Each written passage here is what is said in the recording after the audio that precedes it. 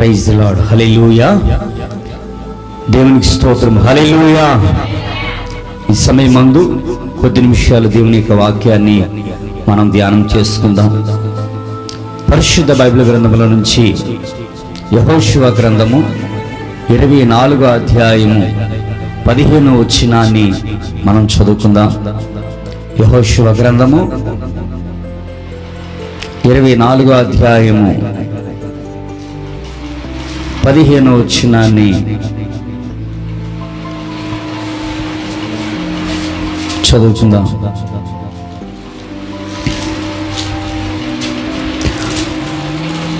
యహోవాను సేవించుట మీ దృష్టికి కీడని తోచినీడలా మీరు ఎవరిని సేవించుదురో నది అందరినీ మీ పితరులను సేవించిన దేవతలను సేవించుదురో.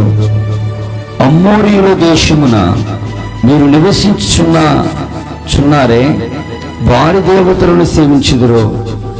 నేడు మీరు కోరుకునుడి. మీరెవరిని సేవింపకోరినను నేనును నా ఇంటి వారును యహోవాను సేవించదము అనిను. దేవునికి స్తోత్ర. దేవునికి స్తోత్ర. ప్రభునందు ప్రియమైనటువంటి దేవుని బిడలారా ఈ యొక్క రాత్రికాల సమయం మందు పరిశుద్ధ బైబిల్ గ్రంథంలో నుంచి దేవుని యొక్క వాక్య పఠనాన్ని మనం చదువుకున్నాం. యహోశివ గ్రంథము ఇరవై నాలుగో అధ్యాయము పదిహేనవ వచనాన్ని మనం చదువుకుని ఉన్నాం. ఇందులో రాయబడినటువంటి మాటలు ఏంటంటే ఈ లోకములో అనేక మంది లేకపోతే నశించిపోతున్న అనేక మంది వారు వారి యొక్క దేవతలను దేవుళ్ళను సేవించి ఎవరినైతే సేవిస్తున్నారో ఎవరినైతే పూజిస్తున్నారో ఎవరినైతే ఆరాధిస్తున్నారో వారి గురించి నాకు అనవసరం. కానీ నేనైతే నేనైతే లేకపోతే నా కుటుంబం అయితే యహోవాను మాత్రమే సేవిస్తాము అని యహోశువ దేవుని యొక్క సన్నిధిలో వాగ్దానం చేస్తూ ఉన్నా. దేవుని పిల్లారా ఈ రాత్రి కాల సమయం ముందు ప్రభు మాటలు వింటున్న మనం జ్ఞాపకం చేసుకోవలసింది ఈ లోకములో ఉన్నవారు ఎవరు ఎలా ఉంటున్నారో మనకు అనవసరం. ఈ లోకములో ఉన్నవారు ఎలా జీవిస్తున్నారో మనకు అనవసరం.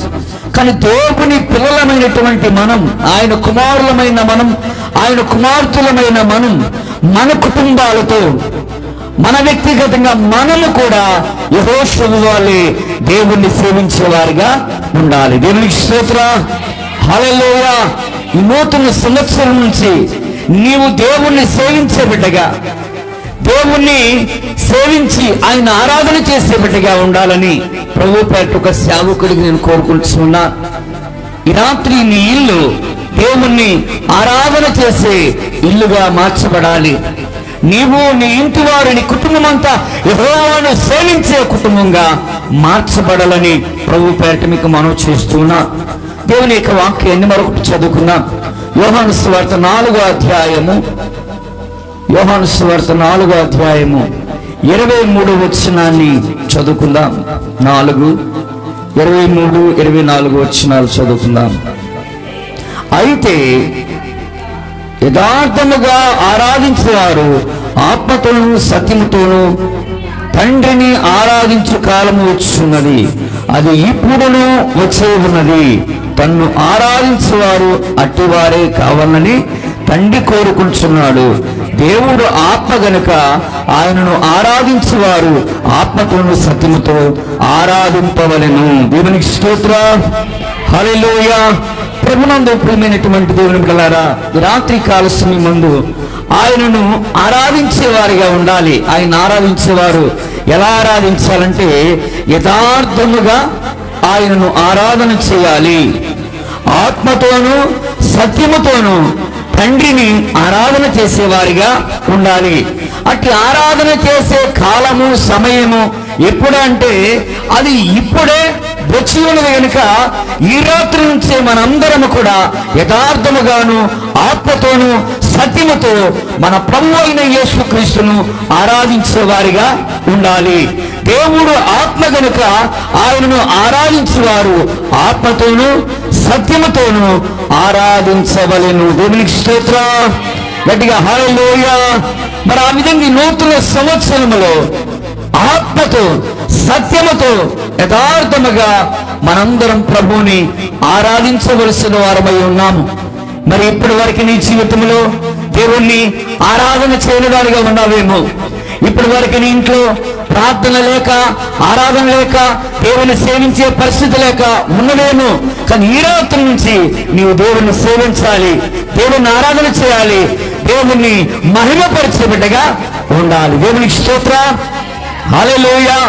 మరి అనేక మంది బైబిల్ గ్రంథములో వారి యొక్క హృదయపూర్వకంగా దేవుణ్ణి ఆరాధించిన వారు చాలా మంది ఉన్నారు. మరి మనము కూడా మన ప్రభు అయిన యేసుక్రీస్తు వారిని అతివలే హృదయపూర్వకంగా దేవుని ఆరాధన చేయాలని ప్రభు పేరట నేను మీకు మనం చేస్తున్నాను రెండవదిగా దేవుని పిల్లారా ఈ నూతన సంవత్సరంలో మన గృహం ఎలా ఉండాలంటే ఒకటి ఆరాధించే ఉండాలి. రెండవదిగా లోకస్ వార్త పంతొమ్మిదో అధ్యాయము. లోకస్ వార్త పంతొమ్మిదో అధ్యాయము. తొమ్మిదో వచ్చినాను చదువుకుందాం. పంతొమ్మిది తొమ్మిది. అందుకు యేసు ఇతడును అబ్రహాము కుమారుడే ఎందుకనగా నేడు ఇంటికి రక్షణ వచ్చి ఉన్నది.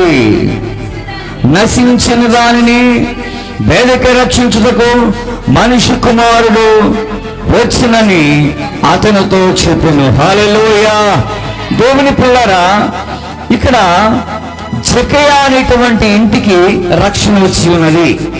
జకయ అంటే ఎవరంటే దీని పిల్లరా?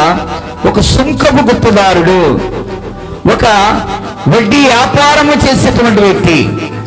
అలా వడ్డీ వ్యాపారం చేసేటువంటి సుంకపు గుప్పదారుడు అనేటువంటి జకయ యేసు ప్రభువును చూడాలని యేసు ప్రభు కొరకు ఎదురు చూస్తూ ఉన్నాడు.